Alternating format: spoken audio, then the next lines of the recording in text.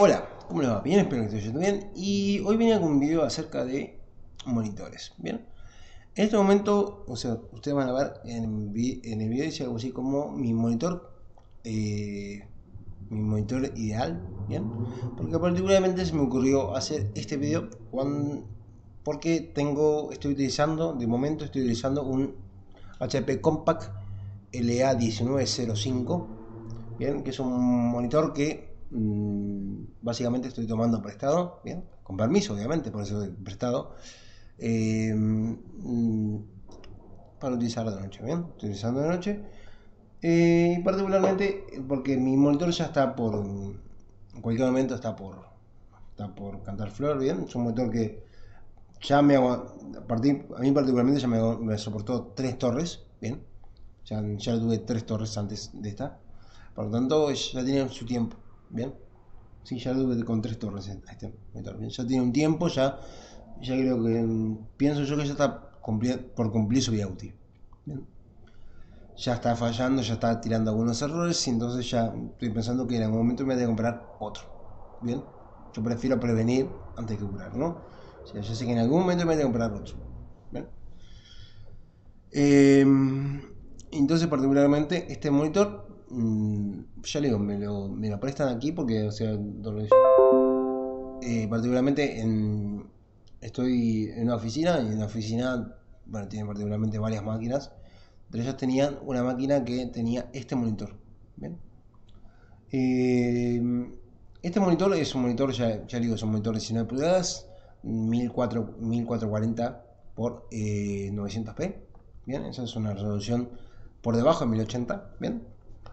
Eh, y particularmente tiene un, un extra, ¿bien? Que es que trae mm, unos parlantes, ¿bien? O sea, trae una barrita que va por debajo de, la línea del, del, monitor, que son parlantes, ¿bien? Y tienen un regulador de volumen, ¿bien? Entonces vamos a ver particularmente ciertos detalles que tiene mm, a, tomar en cuenta al momento de, elegir un monitor, ¿bien? Eh, yo pienso que el primero el detalle a tener en cuenta es, la, eh, el tamaño. ¿Bien? Y tamaño, y yo pienso que el tamaño de la resolución más de la mano. ¿Bien? Pero vamos a tomar el tamaño. ¿Bien? Eh, recuerden que particularmente difícilmente vayan a encontrar un monitor más allá de 27 pulgadas. ¿Bien? Y eso es una. tiene una explicación lógica difícilmente, yo digo, 27 pulgadas por lo general, de hecho, suele, a día de hoy son, hay, pero son curvos.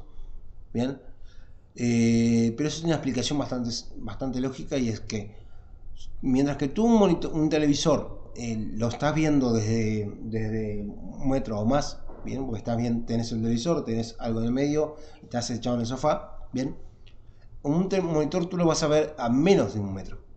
Bien, por lo tanto, o sea, mientras que ya te digo, en un televisor tú quieres que sea lo más grande posible para que vayas atrás y lo sigas viendo, eh, particularmente en un monitor, bien, lo vas a tener muy cerca porque tú tenés el teclado, tenés el, la torre, bien, y tenés que trabajar de forma un poco más detallada, no es como mirar una película, sino que estás trabajando directamente, bien, estás más cerca, bien, entonces cuanto más grande es el monitor es más incómodo, por eso particularmente es que los monitores cuando son muy grandes tienen, suelen tener resoluciones muy grandes también. Bien. Particularmente, de hecho, y a, día de hoy, de hecho, lo más normal es que actualmente ya no, está, no solo están, no están agrandando los tamaños de los monitores, sino que se están extendiendo, se están cambiando el formato. Bien. No es que ya a día de hoy ya un monitor mm, pase a 30, 40 pulgadas, no lo que se hace es que se siguen haciendo de 24 o 27 pulgadas, pero se hacen formato widescreen, ¿bien? Ultra widescreen, que son 21.6, ¿bien? Eso particularmente para que tengas un rango visión más grande, pero no, no, que, no, no en total, sino que a lo largo, ¿bien?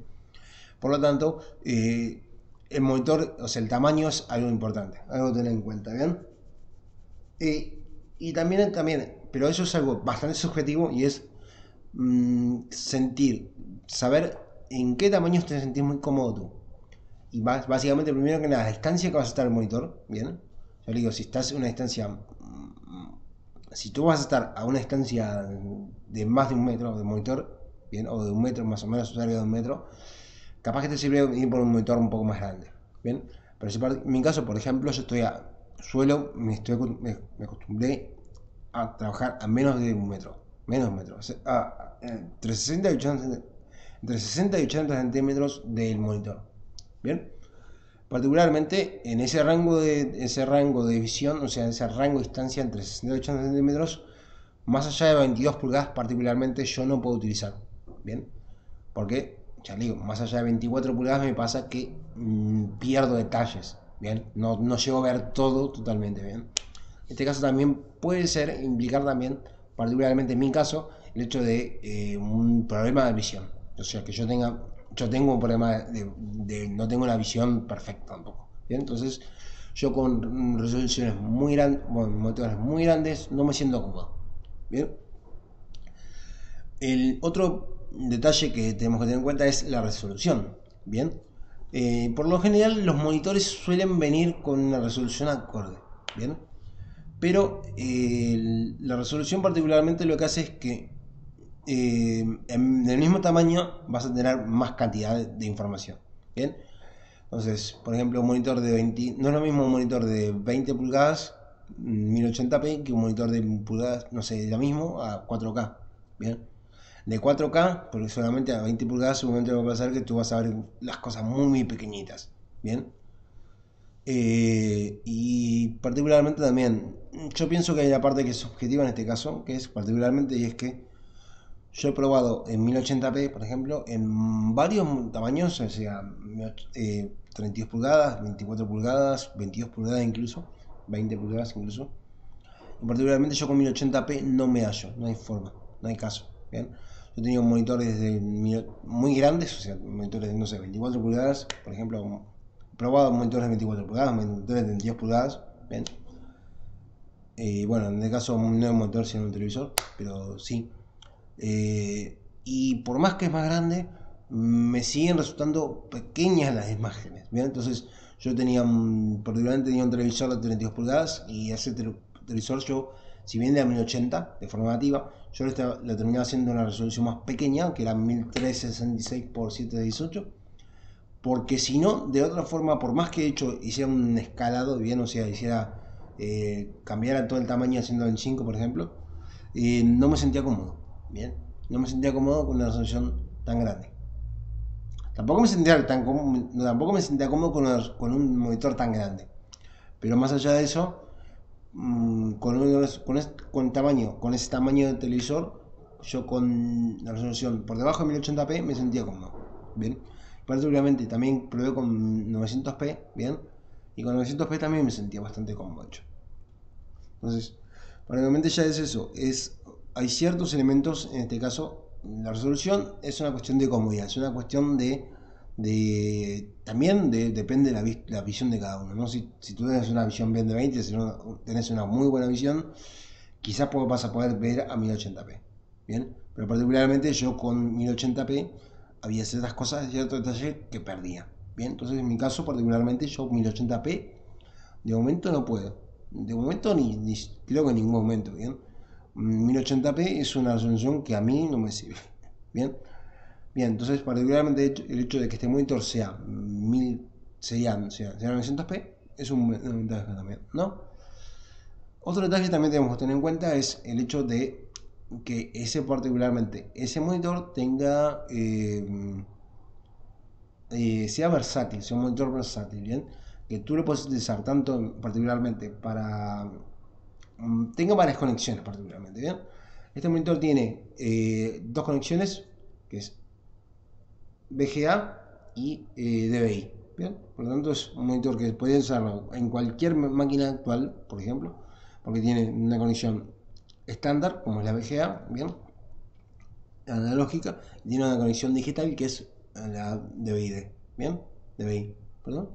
Entonces, a mí particularmente me servía, de hecho, porque de momento yo tengo una gráfica, bien, esa gráfica tiene tres salidas que son HDMI, VGA y DVI, y yo podía, por ejemplo, eh, podría conectar un segundo de tercer monitor con este mismo, por el hecho de que podía, puedo, tengo las opciones, bien, lo puedo conectar por VGA como único monitor, lo puedo conectar como segundo monitor utilizando DVI e incluso, claro, tengo hasta tres monitores, iría uno por cada uno, ¿no? uno, uno VGA, otro DVI, otro HDMI, ¿bien?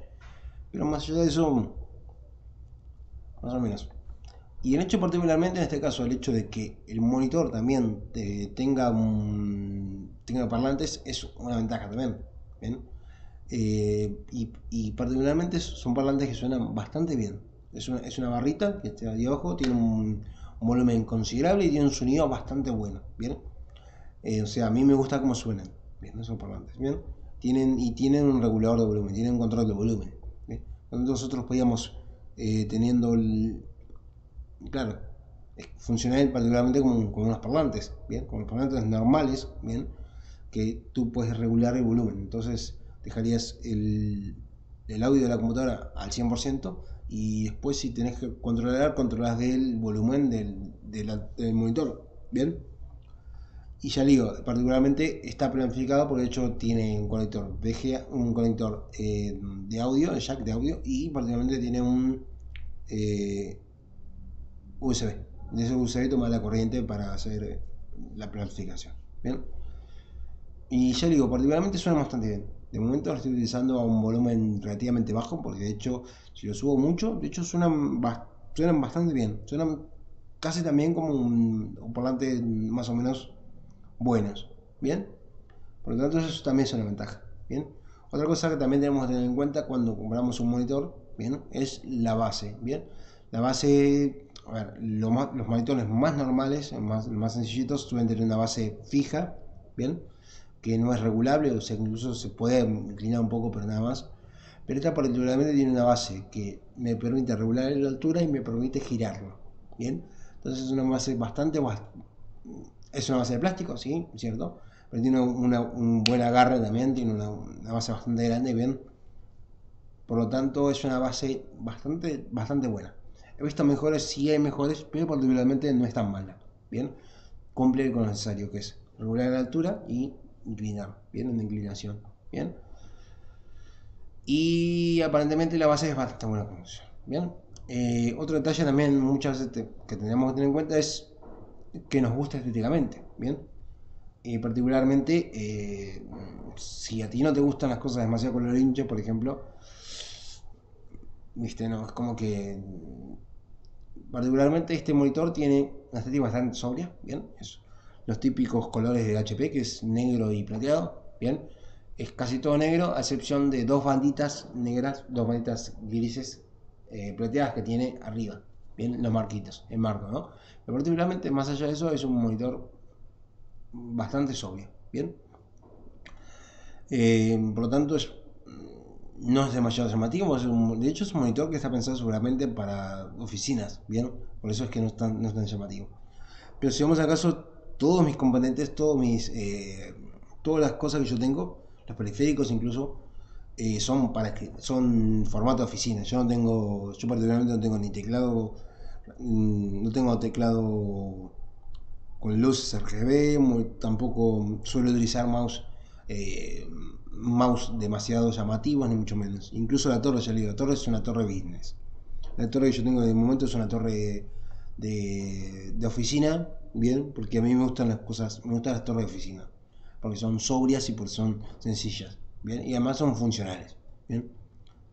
Eh, bueno, de momento yo digo, tengo un teclado que el teclado es blanco con letras negras y tengo particularmente un mouse que, bueno, si el mouse no me gusta mucho, pero es lo que tengo. Particularmente es un mouse con un gamer con luces que tiene se imprensa para no me gusta para nada. Pero bueno, más allá de eso es un mouse funciona. No me gusta la estética. O sea, podría funcionar está bien, pero no me gusta el apartado estético de ese mouse. Porque digo, ya digo, no es un apartado sobrio como a mí me gustaba. ¿Bien? Y yo digo, particularmente a mí los, lo que son los periféricos me gustan que sean sobrios. no me gusta que tengan ni luces RGBs. O sea, yo digo, esta torre probablemente yo tengo es está bien refrigerada, tiene tiene sí tiene control de aire y todo, pero ya digo, eh, tiene los fanculés, por ejemplo, no tienen luces, son fanculés que son no tienen luces, son claro. Bien.